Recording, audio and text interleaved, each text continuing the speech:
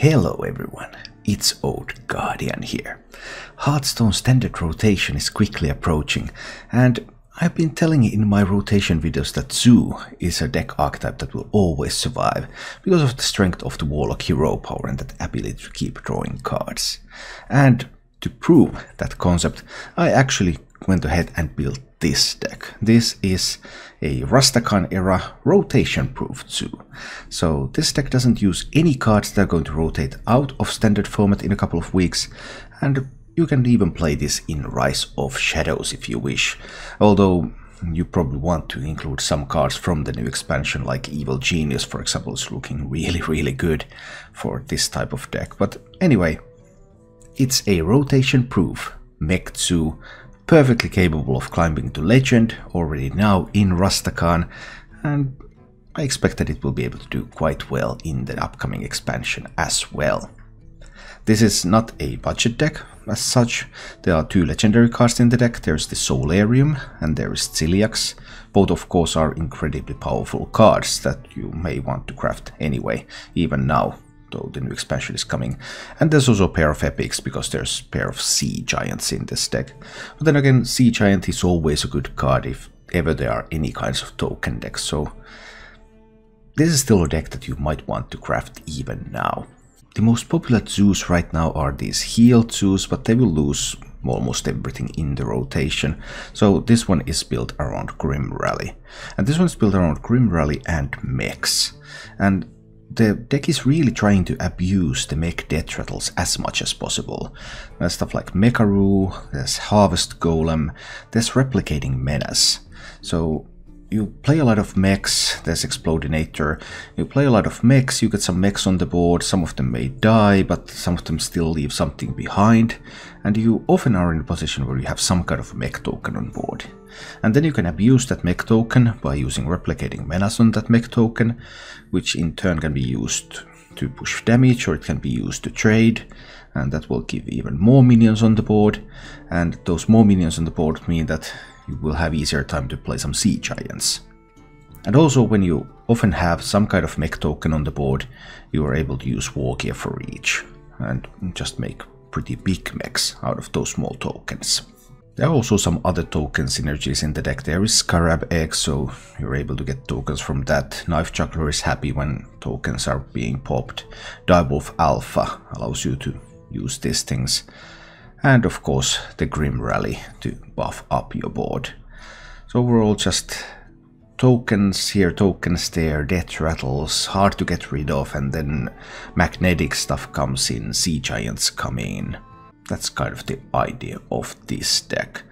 There are two deck slots in the deck. There is the Acidic Swamp Ooze and the Spellbreaker currently, and these of course depend on the meta. I have found that one weapon removal, one silence is pretty okay right now. I've also considered running double silence, no weapon removal, but so far I've been content with this build. Overall, it's a fun little deck to play. It's also very capable. I actually had 66% win rate while playing this deck. So if you want to play something a little bit different, something that survives the rotation and you want to hit legend, then you can do it all with this one. As for the mulligans with this deck, it's the typical Zooish mulligan. Flame Imp, Mecharoo, Voidwalker, Direwolf Alpha, Juggler, Scarab Egg if you have Direwolf Alpha or some way to activate it, but not really without. We're just looking for a strong curve so that you can play stuff immediately and get on the board and get to work. If you enjoy this content then please click the like button and subscribe to my channel for more. And now, let's go take a look at Zoo in action. Maybe. So after rotation there will be no access to stuff like Fungalmancer. So that's why War Gear is basically the buff card and Explodinator into War Gear, for example, goes nicely on curve. Explodinator into Fungalmancer is better. But this is what I've got. No 2-drop. Tough. No 3-drop either. Is my curve too expensive? Mm, I don't really have that many expensive cards in the deck though.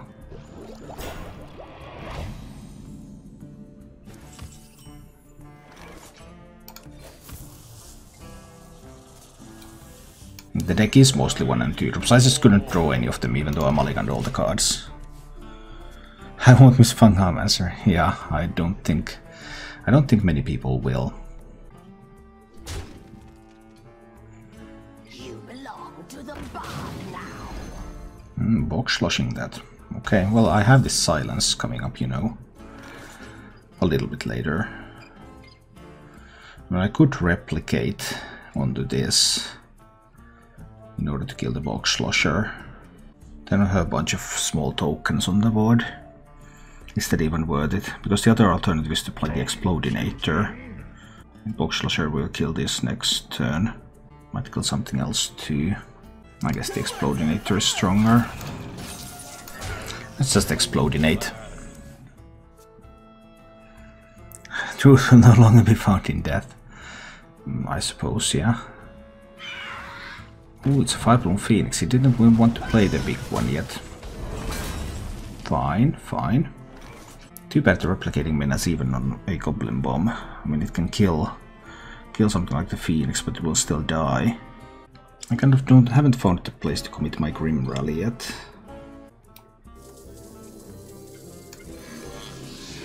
I'm magnetizing a little bit over here. Killing off that fellow. Getting a few more minions on this board. I could use the Grim Rally this turn. I think I can use a Grim Rally this turn. Just clear the, clear clean up this board. Leave a bunch of tutus behind. Then if he wants to play that big Tar Creeper, I have a silence for it. So I don't really mind. There's the big guy. And Taunt Totem. Do you want to play Knife Juggler Spellbreaker? Well, Juggler is always going to be killed through some means. But I do want to silence the Tar Creeper here. And Juggler is probably still a fine gamble here. Just silence that one, kill this one. These ones are going face. I should have killed that first, I missed one juggle there. A little bit sloppy. The Shaman doesn't really have AoE, right? Until Hagatha. So you can kill individual things. There's, there's Hagatha and Kalimos. That can kill big things. So he's at 20 and I have 10 on board. Plus 5. I can do 15. I mean, if I can do 15, I should do 15, right? Hit him very hard. Hagatha can come in two turns. Can't come next turn yet.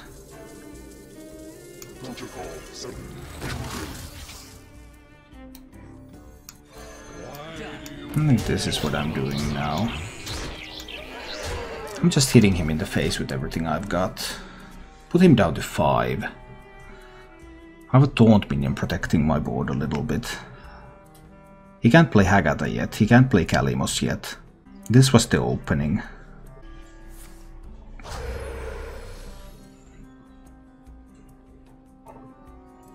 Okay, well now this one can kill the taunt. And with a little help. But he would still need a taunt of his own, right? Or not? Can he survive with 5 mana? Eh? Or is the Mech Zoo victorious? He could have a Hex. He could totally have a Hex. Oh, he has that fellow. I need Soularium. Can I find a Soulfire? Yeah, that's Soulfire. So that's lethal. There. Hit there. Soulfire that one away. Hit face. So I kind of want to have something better.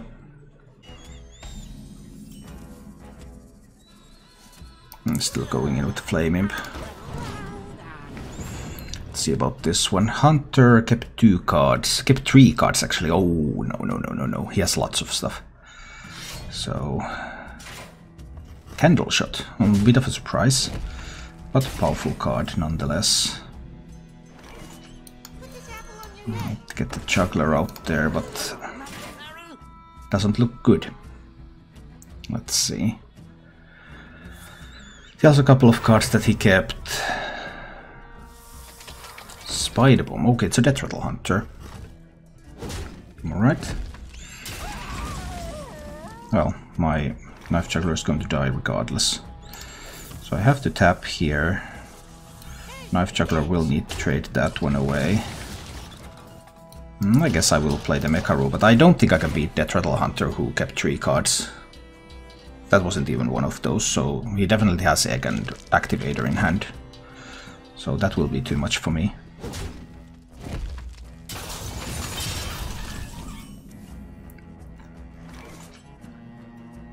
I would need to pop the egg. If I discard Zilliax, that's a disaster. Actually, even I can't even afford to pop the egg, really. Oh dear, oh dear.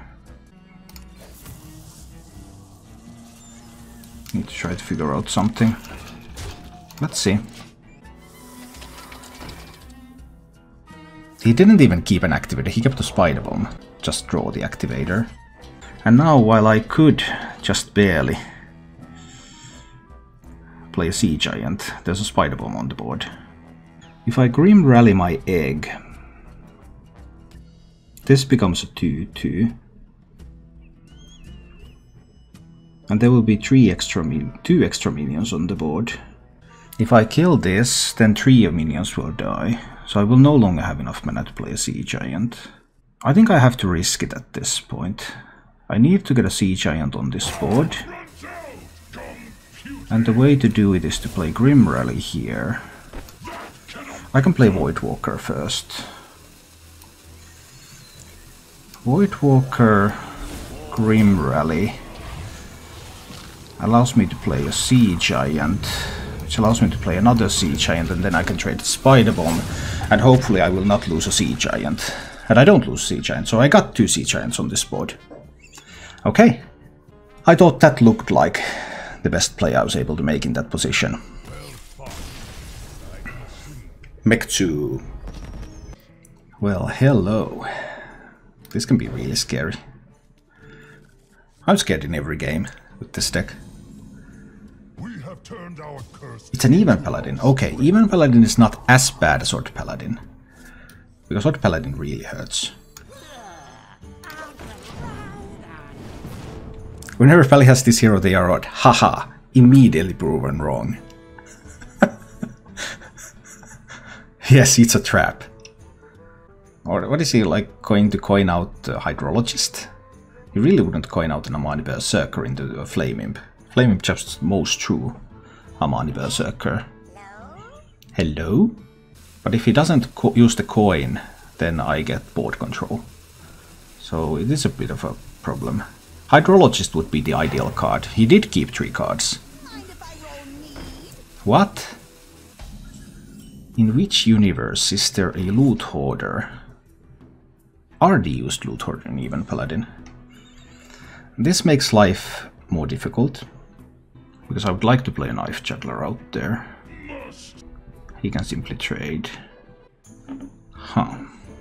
If he trades into Knife Juggler, this one still can kill his 2 drops whereas Knife Juggler might not be able to do that. So I think I need to do it like this. Not waste 3 damage over there. Because now if he, any 2-drop that he can play, like Amani, I can still kill them with this.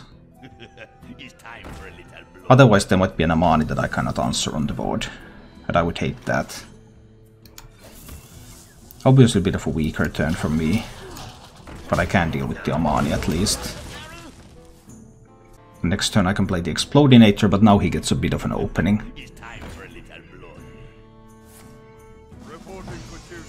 So if has like Consecration, that would be a big deal. Is he going to have Consecration? He might. Do I lose? Well, it's not an immediate loss still. I'll do this, but Consecration would be really, really strong at this point. Would you keep Consecration against the Warlock? Not really, no. He did keep a consecration against the Warlock. Okay, I'm surprised.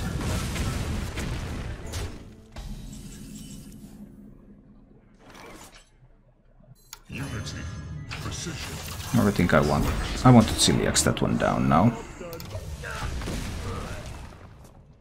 I can magnetize more stuff on the Zilliax if it lives, unless he has like Truesilver Champion, which would be the best card for this position.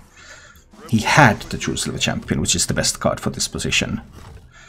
I'm not I'm never on a grind, because I don't care about ranks. I just play whatever I want.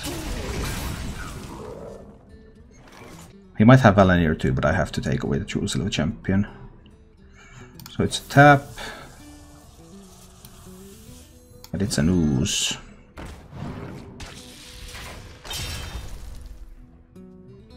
And it's a Flame Imp. Has to be Flame Imp. Not great, but we'll see. Has Steed, will travel. I'm going to have to silence the Steed, so if he also finds Val'anyr, that's going to become a huge problem for me. Do I need to tap this turn? No, I must develop the board. Your magic shall not save. Silence the steed. Kill this one off. Play the dire wolf. So that I get a better chance to play Sea Giant next turn. Unless he has like second consecration. Or an Avenging Wrath. Avenging Wrath would also be strong. Of course, second Steed, Val'anyr. Those are kinds of th things that kill me. I mean, can he really have those things? Oh, I guess the answer is yes. I need to get that Sea Giant on this board. Do I really sacrifice two minions just to kill the Silverhand Recruit? Give him two U6 after that. What if I don't and he plays like Blessing of Kings on this, makes it a 7-11?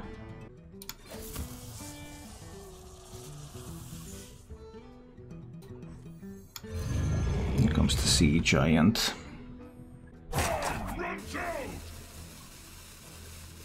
It's in over here. Still has 5 health. Or I give up on my board. I'll wait. Let's see what happens. This is of course scary. Everything is scary. But at least this way I will have a bunch of minions on the board. So he could have like Tarim. Put your faith in the light. Yes, Tirion. Tirion is strong too, of course. And more sea giants. So I could do like Knife Juggler, Harvest Golem, Sea Giant, 5 mana. I guess I have to do something like that. Some apples on the head. Some Harvest Goleming. I popped the... I popped the Divine Shield, that's good. Or these two trading in Tirion. I only have one more dagger coming. But I have to play the dagger first. Must destroy. Run down. If he has Tarim, I probably will just lose. Let's say these two trade into Tirion. And this one kills the steed. So Tarim is going to win the game. If there's a Tarim, but is there really a draw where there's two steeds, Tirion and Tarim? I guess there is a draw like that. Potentially. All the defense matrices, redemptions. That's a blessing of kings. Okay, turns that into a 6, 10. Then if it can be resurrected.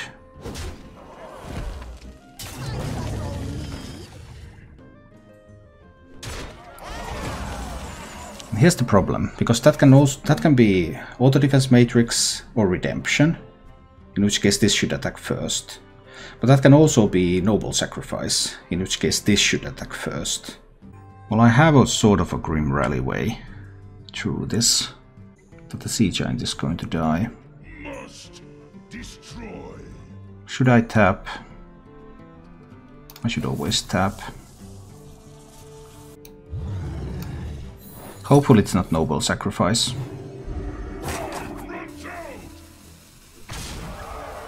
That's a little bit annoying, but just a little bit. Because I can do this and this and this in order to still kill it. I can still get it out, out of here. I can have 3 held on these, so 1 minion attacking is not enough. He needs 2 minions attacking. But I don't have a lethal set up here. Oh no, he had a spellbreaker. Then I suppose he will win, because he can trade in the minions to the sea giant and he can kill the 2-3 with the sword. Yeah. His draw was just a little bit too good. Still, it was a pretty decent game. I mean, he had a very strong opener, double Amanis, double Steeds, Tirion. He had like everything. But I still made a good game out of it. But from here, it probably is not going to be possible to win.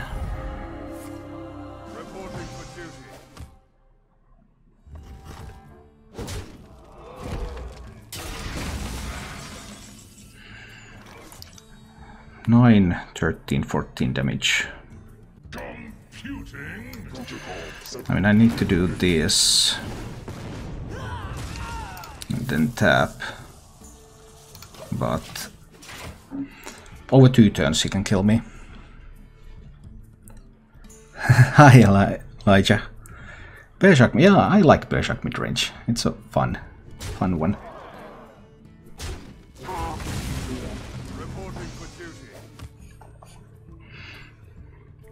Still has 9 mana and 4 cards, so I don't think there's an out. I'm ready to concede. I would need to top deck Soularium into a strong board. And he would, but he has, still has a bunch of cards here, so he should always have something. Yeah, this is RD's list. A bit old-fashioned, but can get the job done. 7 damage. I'm dead to a Blessing of Kings. I'm dead to Val'anyr. So I might as well tap because there's no source of 2 damage. Well, there is Consecration. There's one source of 2 damage in the deck.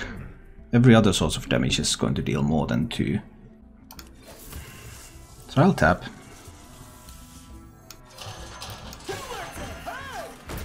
And I'll play my mechs. Any use to play Grim Rally this turn? No, probably not. So I die to a bunch of things. Choose the champion, Blessing of Kings, and now also Consecration because I tapped. Mossy Horror was rather unexpected. Well, he didn't even need that, he already top decked the lethal. Well.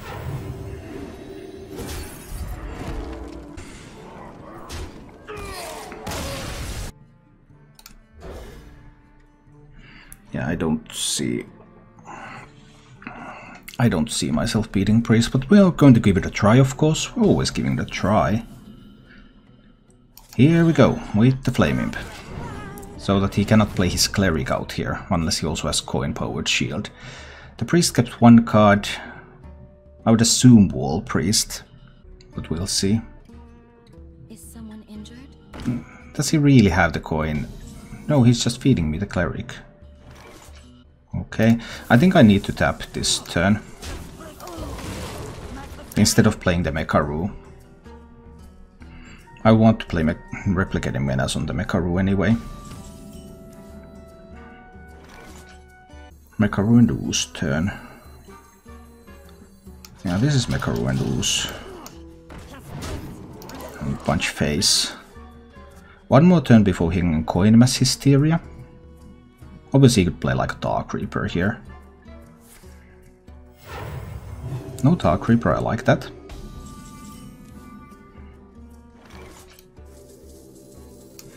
So this is the Replicating Menace turn. And then we just hit face a lot.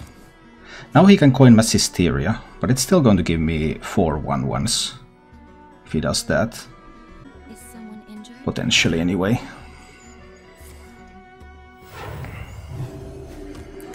Goes to 21. I have 10 on board. He could have Mass Dispel. He can't coin Psychic Scream yet. I think I want to kill the Cleric. Let's play another Replicating Menace on that one. I kill the Cleric and I push 10 to face.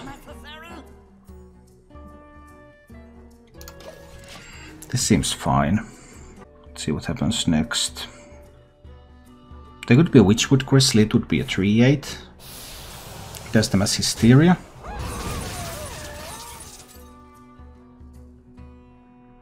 I have only 9 damage here.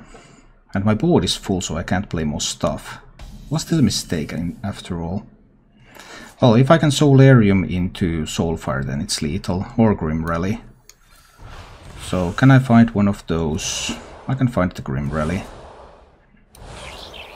This one hits there, then it gets Grim Rallied, and then we win the game.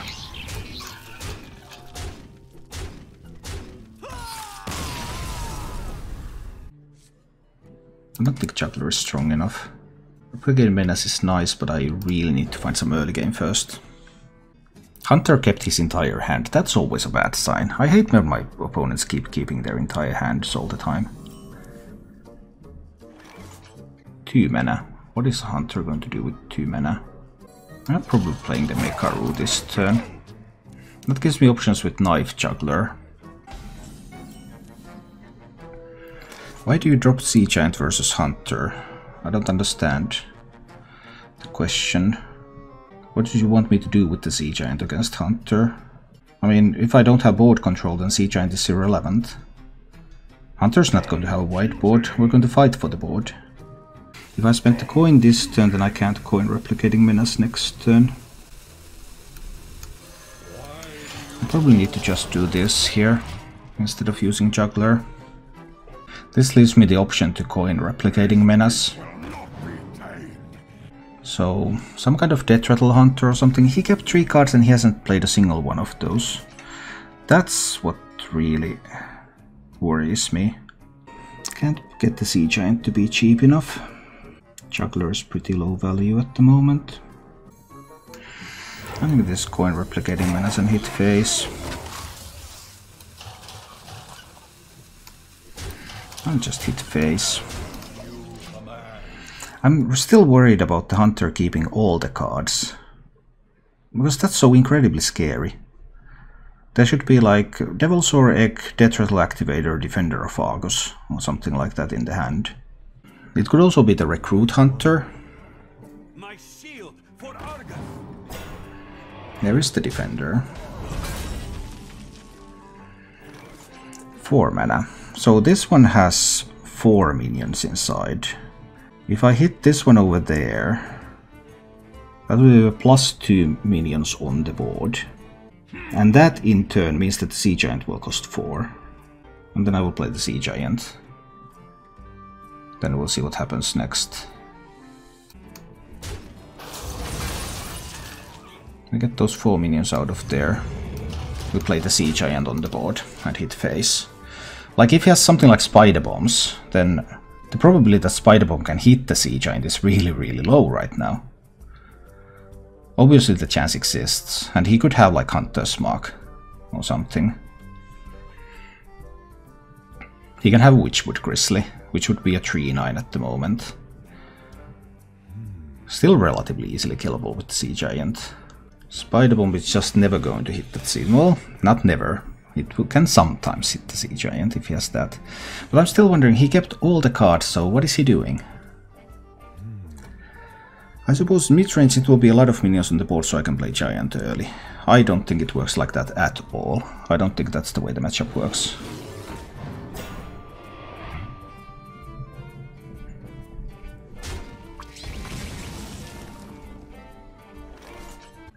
So do I play the Juggler and the Egg? Sea Giant will have to hit into the Witchwood Grizzly. Juggler Egg means that I can't tap. I could Harvest Golem and tap. Giant to 5, then I will have to kill the Defender of Argus. Juggler Egg gives me a better chance to... Juggler egg gives me a better chance to avoid unfortunate things. Like spider bombs. So there's a full board. Difficult to hit anything good with spider bomb, for example, now. Sea Giant still at 5 health. It's not that easy to kill. Can't kill it with Zilliax. Let's see. We could like kill the egg, but that would serve no real purpose. Would gain reduce some value from the egg because my board is so full, but no real purpose served. Next turn I will need to tap. But I just wanted to get a really good board so that Spider Bomb is unlikely to hit the giant. That was the main main thought I had going into this turn. That stuck Rexxar is never a bad card. Now this can be flank killed with a flanking strike. Also I have no mechs on the board. I will need to tap. Now it cannot be killed with a flanking strike anymore. So it's Harvest Golem. This one goes in and gets Grim Rallied. And then the rest of the stuff goes in. Punch him down to 10 and this out of reach of Zilliax or alternatively the flanking strike. Alright, next turn would be his power turn. He's trying to get to 8. That's his main, main thought here is how do I get to turn 8? And I'm trying to prevent him from getting there. Because there's two cards in his hand that he didn't, has not played, so I guess Kathrena has to be there. If Kathrena is not one of those two cards, then something is wrong. Spider Bomb. Okay. One in three. Lost. Thank you for watching. If you enjoyed the show, please click the like button and subscribe to my channel for more.